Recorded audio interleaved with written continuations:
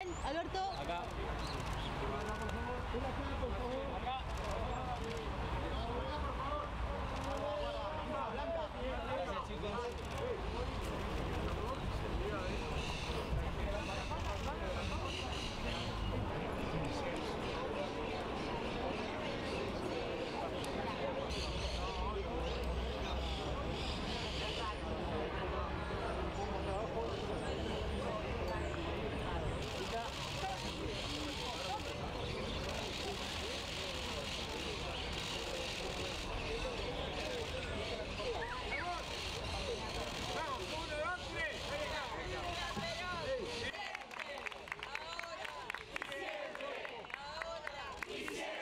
La llama de la memoria está viva y nos obliga a recordar y ser conscientes de que si nosotros estamos aquí hoy día es gracias a los que por aquí pasaron.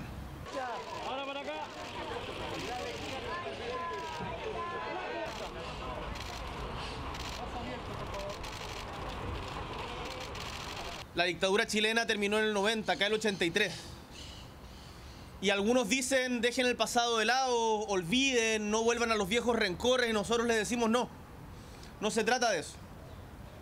Porque si olvidamos se puede volver a repetir.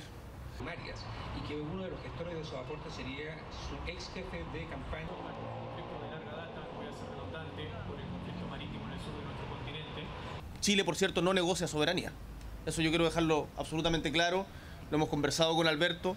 eh, pero no me cabe ninguna duda de que el modo de ponernos de acuerdo va a ser mediante los espacios diplomáticos que tenemos.